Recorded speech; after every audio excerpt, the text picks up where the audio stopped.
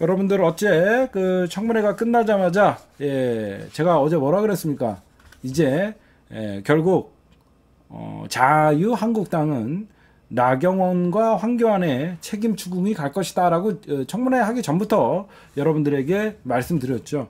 어제 그럼에도 불구하고 자유한국당이 여러분들을 굉장히 청문회를 빨리 여러분들 어제 이상한 현상이 있었어요. 자유한국당이 막 청문회를 못 해갖고 안 달라는 것 같은 느낌 못 받았어요? 막 의사진행 발언도 안 받고 의사진행 발언은 제, 제가 주는 겁니다. 예, 그 분노조절장애 여상규가 갑자기 의사진행 발언도 안 주고 무조건 질의만 합니다. 쟤네가 뭐지? 뭐 한 방 있나? 어, 쟤네 뭐 한 방 있나? 어, 여러분들이 아마 굉장히 의심스러워했을 거예요. 근데 보는 내내 뭔가 있는 것 같아. 근데 없어. 어제 여러분들 청문회를 전체적으로 잘 보면요. 왜 우리가 검찰 개혁을 해야 되는지 알고 있는 거예요.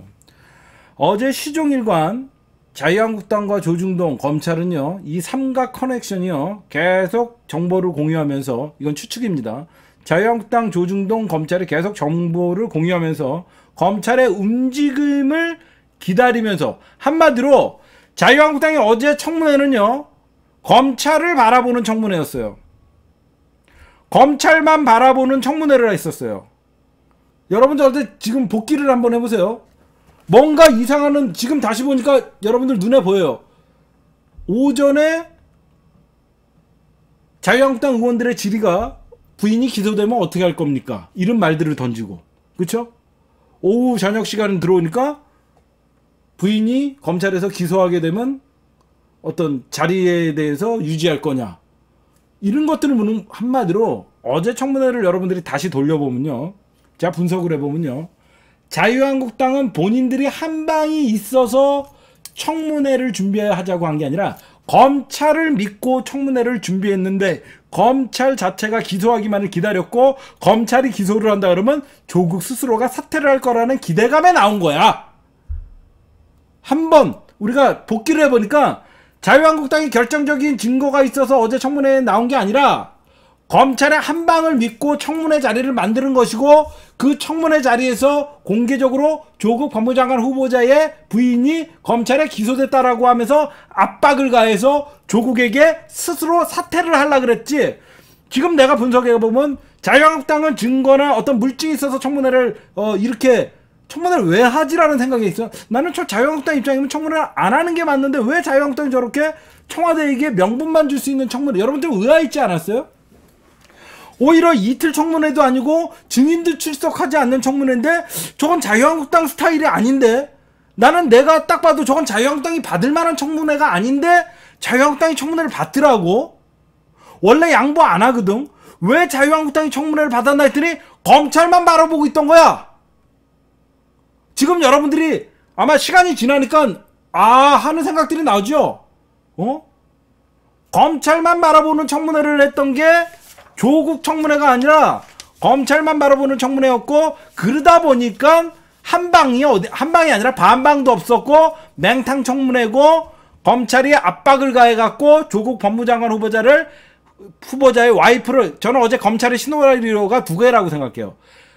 청문회 도중에 조국 법무장관 후보자의 와이프를 포토라인에 세워서 압박을 하려 그랬다가 오전이나 오후까지는 정경심 교수를 포토라인에 세워서 조국 법무장관을 심리적으로 압박을 하려 그랬던 게 1번 카드였고 2번 카드가 그럼에도 불구하고 조국 법무장관이 흔들림 없이 쭉 밀고 나갈 것 같으면 12시 전에 전격적으로 피해자 소환 없이 기소를 해버리는 그런 일을 해서 사실상 조국 스스로 물러나게끔 하려 그랬던 게 조중동과 자유한국당 검찰의 삼각 시나리오였다. 그러나 조국 법무장관이 끝까지 버티고 사실 조국 인사청문회를 자유한국당이 받은 이유는 검찰만 바라보고 있었다. 자유한국당이 갖고 있었던 그 한 방은 바로 자유한국당과 검찰의 빨대를 꽂고 있는 정치 검찰들과의 커넥션이었고 이 커넥션에서 뭔가를 터트려 주길 바랬고 그게 바로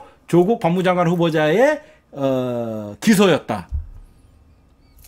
저는 그렇게 봅니다.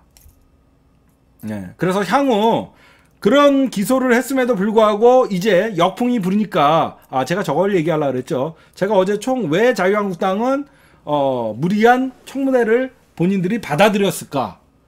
이거는 자유한국당이 에, 검찰을 믿었고 향후 어, 이번 청문회에서 가장 지금 떨고 있는 사람은 누구다? 나국 아니, 나경원 그리고 황교안 왜?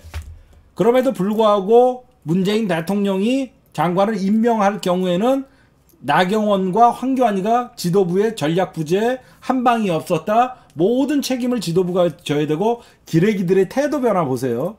여태까지 조국 죽이기에 올인했던 기레기들 자유한국당 전략 부재로 법무부 장관 입성한 조국 이런 기사가 나옵니다. 태세 전환을 기레기들이 어떻게 하는지 보세요. 자기네들이 엄청나게 쏟아 100만 건에 가까운 기사를 쏟아 부었는데도 온몸으로 막아내면서 버텼던 조국이 쓰러져야 되는데 안 쓰러졌단 말이야. 그러면 자기네들 할 일은 끝난 거야. 무슨 말이냐? 기레기들이 할 일은 100만 건에 말도 안 되는 어, 기사를 투척하면서 기레기들이 총공격을 했는데 그 다음에는 정치권의 목이었다는 거야. 자유한국당이나 검찰의 목이었는데 자유한국당의 공격은 아무것도 없었고 검찰의 공격에도 법무장관 후보자가 버텨내면 그 다음부터 이제 기레기들은 발, 발을 빼기 시작한다고 이걸 정치권의 책임으로 돌린다고요. 이게 기레기들의 특징이에요. 그게 무슨 말이냐? 지금 자유한국당의 어떤 전략 부재가 조국 법무부 장관의 의혹이 해소되지도 않고 법무부 장관이 검찰의 사상 초유에 기소되는 상황에서도 문재인 정부 문재인 대통령이 임명을 할 수 있었다. 이렇게 하면서 책임 전가를 기레기들이 책임 전가를 정치권에 하면서 자유한국당의 어, 지도부를 비판을 하면 자연스럽게 나경원 어, 그리고 그, 어, 그 황풍권 아 죄송합니다. 그, 그 황교안 어, 이제 지도부가 힘이 빠지면 자유한국당에서 뭐 지금 홍준표 이런 애들이 여러분들 다음 주부터는 어, 조국이 법무부 장관에 임명되면 나도 광장에 나오겠다라는 이런 말들이 왜 나와요?